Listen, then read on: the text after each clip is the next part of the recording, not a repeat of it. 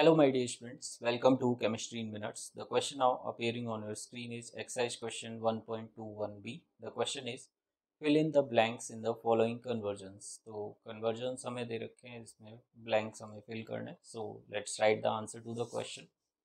So first is 1 kilometer equal to how much millimeter? So 1 kilometer is equal to 1000 meter and 1000 millimeter is equal to 1 meter. So 1000 into 1000 this will come as 10 raised to the power 6 millimeter.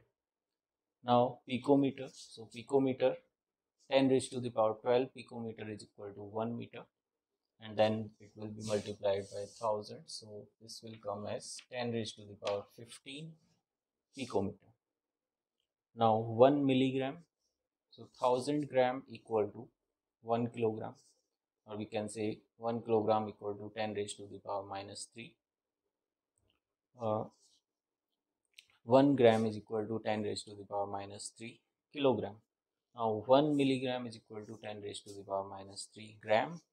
So 10 raised to the power minus 3 into 10 raised to the power minus 3 is 10 raised to the power minus 6 and here 1 nanogram so we have to relate milligram with nanogram. So 10 raised to the power minus 9 gram is equal to 1 nanogram and 10 raised to the power minus 3 gram is equal to 1 milligram. So we have to divide it by nanogram. So this will come as 10 raised to the power 6. Now 1 ml equal to, so 1000 ml equal to 1 liter and 10 raised to the power minus 3 liter is equal to 1 ml.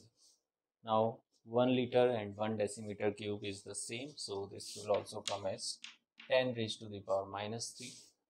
So this will be the answer to the question.